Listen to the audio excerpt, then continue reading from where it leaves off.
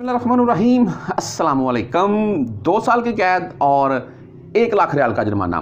तो मैं अभी ये खबर भाई पढ़ रहा था और मैं इसमें देख रहा था कि यार कुछ ऐसी खब, यानी कि बातें इसमें बताई गई हैं जो हम परदेसी गैर मुल्की भाई अक्सर मिस्टेक कर देते हैं या अपने, अपनी दिहाड़ी के चक्कर में मैं बोल रहा हूँ कि ऐसी कोई गलती हम करते हैं। तो भाई इसके ऊपर पहले होता था कि बल्दिया ने पकड़ लिया और भाई दस हज़ार का या पाँच हज़ार का ग्रामा करके छोड़ दिया। होता तब भी था। लेकिन अभी भाई दो साल की कैद और साथ में एक लाख रियाल का जुर्माना है। लेकिन ये ऐसा बिल्कुल नहीं है कि आपको किसी ने बोल दिया और आप वो काम कर रहे हैं तो वो आएँगे आप बोलेंगे, मुझे तो उसने बोला है। तो वो उसको नहीं पकड़ेंगे।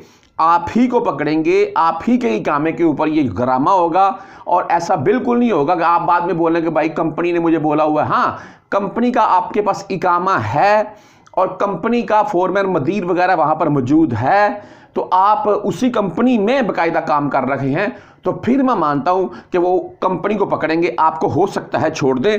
वरना भाई, आप का महीना कुछ और है और आप काम कहीं और कर रहे हैं, या कहीं दिहाड़ी वगैरह के चक्कर में ऐसा काम आपने कर लिया है तो ये ग्रामा और जेल आप ही के ऊपर होगी। एहतियात कीजिएगा। पानी वाली बोतल अक्सर आपने देखा होगा, हम पीकर अक्सर गाड़ी में बैठे पानी की या कोडरेड हम पीकर ऐसे सड़क के ऊपर उसके ऊपर तो भाई दो सौ रियाल का फ़ाइन है, सिर्फ़ दो सौ रियाल का फ़ाइन है।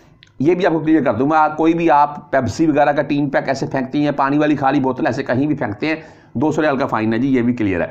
लेकिन भाई ये एक लाख रियाल का ग्राम है। सबसे पहले तो आपको पिक्चर दिखा रहा हूँ मैं, ये पार्क की है जी।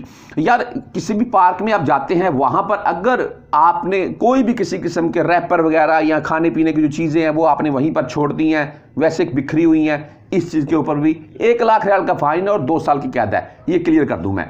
अच्छा जो चीज़ इस वीडियो में काबिल गौर है, वो ये है जी। एक बिल्डिंग या इमारत बन रही है, सुन लें। आप वहाँ पर दिहाड़ी लगाने के लिए चले गए, या मिसाल के तौर पर आप किसी भी चीज़ के ऑपरेटर हैं, मिसाल के तौर पर आप हैवी मशीनरी के ऑपरेटर हैं, कुछ सामान वगैरह लोड करना या उतारना है, या बाप कार्ड के थ्रू भाई आपने वहाँ पर लेवल वगैरह करना है, या जो भी मामला हैं हैवी मशीनरी के थ्रू आपने अपनी मशीनरी बाहर खड़ी की और वहाँ पर वो काम करना शुरू कर दिया।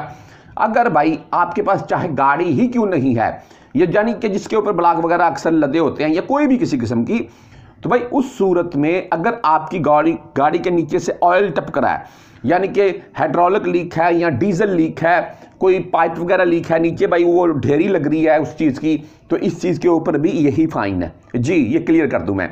इसके अलावा आपने वो जो बाउंड आप दिहाड़ी लगाने चले गए वो बंदा आपको बोल रहा है, ये ब्लाक कचरा वगैरह उठाकर फुटपाथ के ऊपर फेंको और बाद में हम उठा लेंगे। आप फुटपाथ के ऊपर बाहर, सड़क के साथ जो फुटपाथ होता है, उसके ऊपर फेंके जा रहे हैं। वो चीज़ें जहाँ से आवाम का गुजर है तो वहाँ पर आप ढेरी लगाए जा रहे हैं, वो आप ही पकड़े जाएँगे। अगर तो आप कंपनी में हुए तो कंपनी वरना भाई आपके इकामे के ऊपर ये फाइन और आपको जेल होगी, ये भी क्लियर कर दूँ मैं।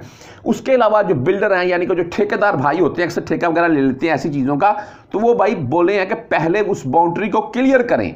आप कोई भी चादर लगाएँ लोहे की या छोटा मोटा काम है तो ग्रीन चादर लगाकर उस चीज़ को कवर करें और उसके बाद उसके अंदर काम आपका जारी होना चाहिए। ऐसा बिल्कुल नहीं है, किसी दिहाड़ी के चक्कर में, किसी भी, मैं बोलता हूँ, काम के चक्कर में ऐसी गलती मत कीजिएगा, ये वाजिया पैगाम है कि दो वर्ष की कैद और एक लाख रियाल का फाइन है। किसी भी मुकाम, यानी कि जहाँ से अवाम का गुजर होता है, मुकामी जगह को, वहाँ पर आपने कोई भी किसी किस्म की ऐसी हरकत, यानी कि ऐसे कोई मटीरियल वगैरह लगा आपने उठाया और वहाँ पर ढेरी लगा दी। या आपकी गाड़ी का ऑयल गिर रहा है, या पार्क में आपने गंद मचाया हुआ है तो इस चीज़ के ऊपर भाई यही फाइन होगा।